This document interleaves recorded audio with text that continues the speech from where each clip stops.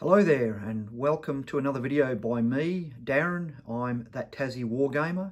The reason I got the name is I live here in Tasmania and I like wargaming. Anyway, um, it's been quite a few weeks since I've given a, an update, so I thought today I'd just be a great opportunity just to go through what I've been up to, um, show you as much as I can about where I am with, with gaming and, and modelling, as well as I thought I'd do a book review, hence the, the book that's right here in, in front of me. Um, I'm going to get to it a bit later, I think, because what I'll do, i am I'm going to cover first up just anything that's not related to um, Infamy Infamy, and then I'll get into a little bit more detail about how I'm going with um, preparing for the new rule set Infamy Infamy by Too Fat Lardies. So I'll take this book away for a second. Um, last few weeks I have finished off my Fallschirmjäger for um, of Command, or, or anyone. Um, they're actually downstairs at the moment. Um, they've all been painted, they've all been varnished, uh, they've all been based. Unfortunately, I'm just waiting for a dry day to do the final spray because they it's currently up around 80, 90 degree, uh, 80, 90% humidity. I'm waiting for it to drop below 60 so I can make sure that my my final clear uh, final dull coat goes on clear. Um, but they're all done. So I've got a few buildings to paint for Chain of Command. Um, obviously, I'm not getting any gaming in, so I finally finished off my um, my tokens that I bought that I got from Too Fat Lardies when I bought Chain of Command. Um, I've never bothered painting mine up because we've been I've been playing with a mate who always supplied the, the, the tokens, so I was never in a big hurry. Um, but they've now done.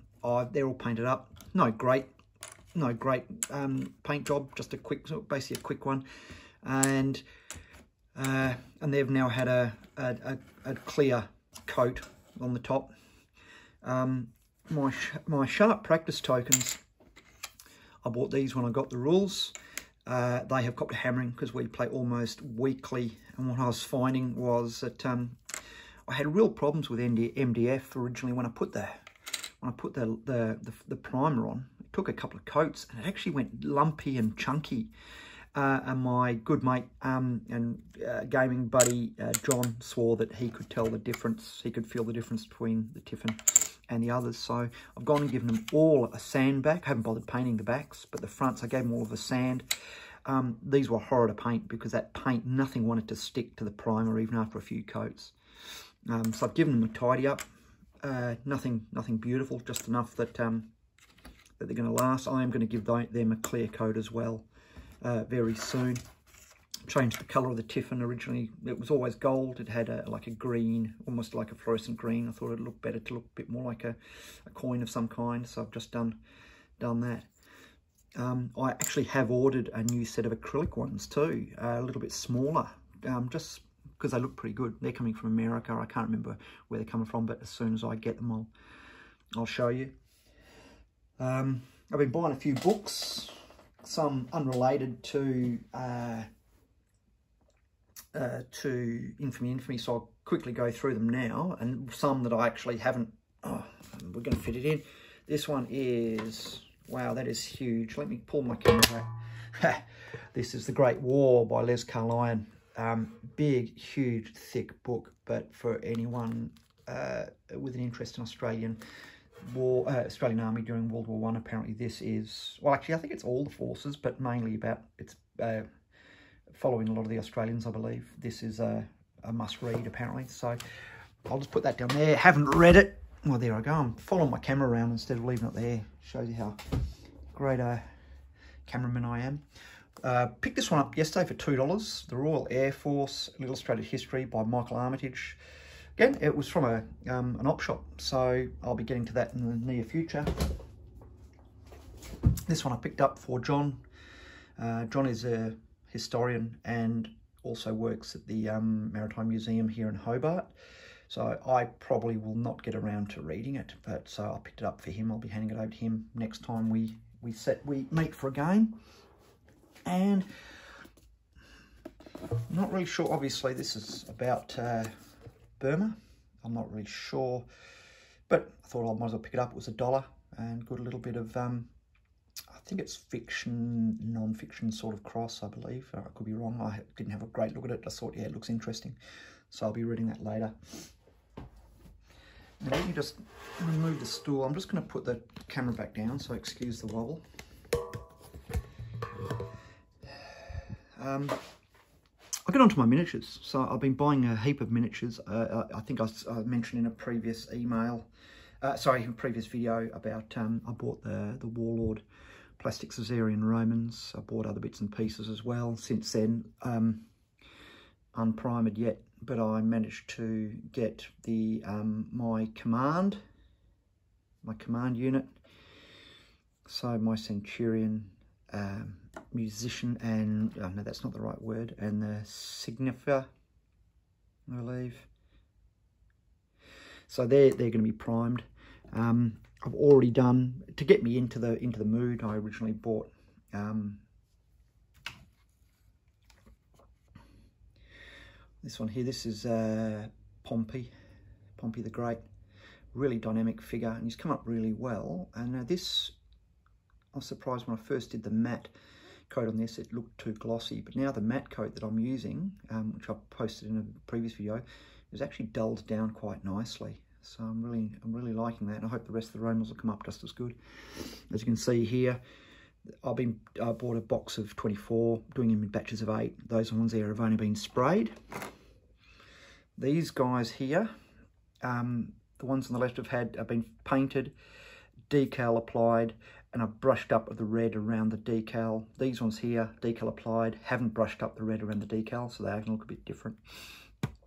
Once the decal's dry, on, on, on the ones on the right, I will, um, I'll probably then go through and do my Army Painter dark shade on them both, base them up, because um, I'm actually going to be waiting on a few decals for these guys. I've run a bit short, so for that final unit, I'll be having to um, to wait for the decals. So I might just do these two. Hopefully the decals will arrive ready for Infamy Infamy. If not, then I can always uh, use those guys mainly painted and finish them off later. Um, also arriving the mail, I got my Germanic archers unopened, unprimed. I'm really going to try to make sure I get through all my Romans before I uh, start on the Germans. Uh, Germanic skirmishes with javelins and I've gone for the Tribesmen of Germania. Um, I know Foundry, from all accounts, do far better miniatures than um, than Hail uh, sorry, than Warlord games. I've actually been pretty impressed with the Warlord Romans. Actually, I, have found them quite quite easy to model and, and, glue together, and I found them quite easy and nice, a pleasure to paint. I'm hoping the Germans will be the same. Um, the problem with Foundry, of course, at the moment is that oh, they are more expensive, but also the the postage to Australia is just it just, you know, it just makes it unaffordable. So I've gone for plastic at the moment because these guys are available from stores in Australia.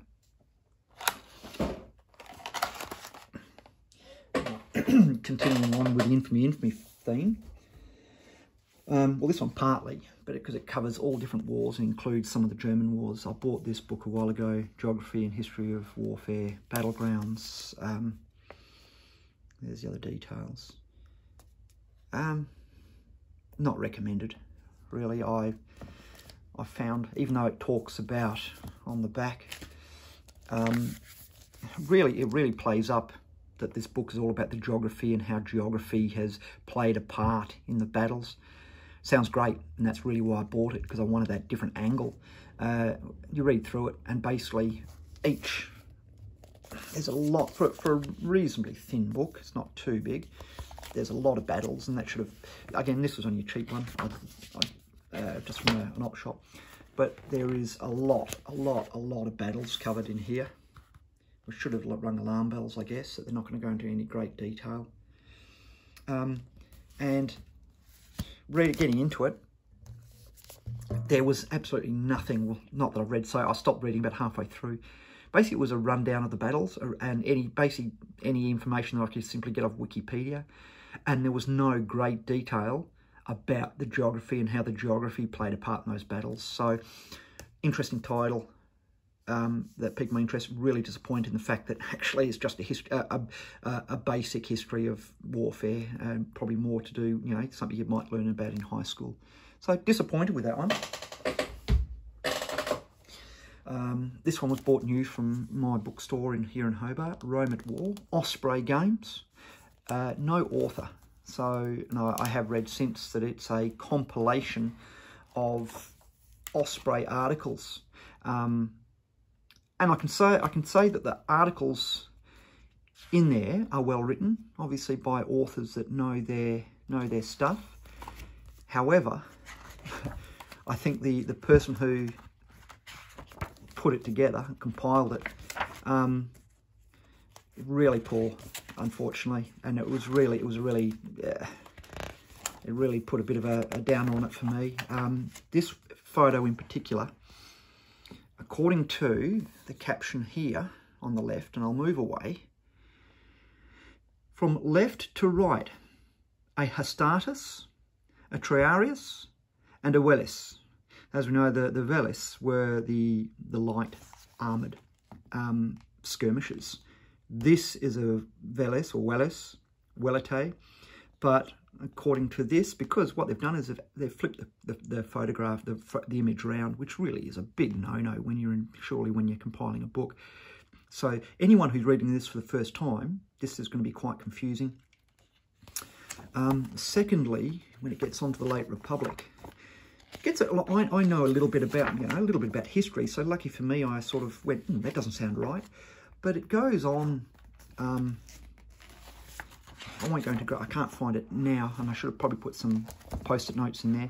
But it talks about Caesar's campaigns, and then it goes on to talk about Marius's campaigns, the Marian reforms. Now, and it didn't actually say this happened before Caesar. So the problem there, of course, is that um, uh, people are going to assume that Caesar came to power and then then later Marius came along and made all the reforms, which isn't accurate. So some glaring errors, which really, apart from some well-written um, articles, the compilation is really poor. Um, and yeah, it, it's bad because it, it, it's an Osprey book. I, I expected more. Um, in contrast, another Osprey book, The Roman Army by Chris McNab, written by one person, probably compiled by the same person. I highly recommend this book. This was, I learned a lot from this. Like I said, I'm no historian. I'm really just dipping my feet into, into ancients. Um, uh, I knew probably a, a, little bit about everything, but this was fantastic, and just understanding how the armies, how, how, things changed through the through the times. Really enjoyed it, and I'm planning on giving it a second read very soon because I know I'm going to pick up some more as I go. Um, some great illustrations by by Osprey, as as we're used to. Some great maps, so you really get an understanding of of how the battles presented. Um, that same photograph uh, that we saw earlier are actually is in this book with them the right way. No, that's not it. With with them the right way round. But yeah, easy reading. Like you think, oh, you know, it, it, it could be hard reading, but it's not. More importantly, it's got a really one, for me anyway, a really interesting one on siege warfare. Uh, this was 32.99 Australian, UK 16.99, US 27, Canadian 36 if you can get this, highly recommended. I really enjoyed it. Um, got about a minute and a half left and I'm still having troubles with trying to get videos longer than 15 minutes because iMovie won't allow me to upload them even though um, YouTube will accept them. So quite quickly, complete Roman legions. I'm uh, probably a sixth, one sixth of the way through the book. Really enjoying it. Uh, Nigel Pollard, Joanne Berry, really good. Um, I'm getting more, some of the information is very similar to what I've read, but that's always going to be expected. Um, but I'm really enjoying it. It goes into a little bit more detail about the specific legions and where they were and the like. So I'll have to give another update on this once I'm fully finished with it. But for now, that was, yeah, I'm really enjoying it at the moment. So as you can see, when, when I get into a new era, I really like to, um, really like to you know, absorb a lot of the information. So yeah, so out of all the books I've got so far, two, well, those four, those four I've just showed you, two misses that I wouldn't recommend, um, and two hits, the Roman Army and the Complete Roman Legions. Um, Thames and Hudson, uh, 35 Australian. Can't tell you the price, that would be roughly the same price that I showed you last time. So, um, really excited about Infamy Infamy. We're coming up to 15 minutes now. Um, so if you're if you want to know more, keep, uh, keep watching and I'll probably have another video out very soon. Thanks for watching.